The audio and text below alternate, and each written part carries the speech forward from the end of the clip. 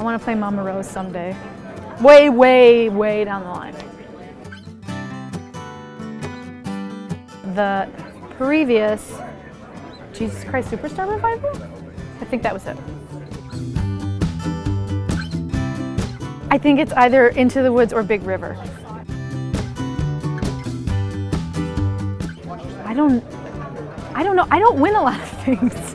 Like if I tried to call into radio shows, I never win that stuff. Tony Danza? Oh my gosh, so many of them.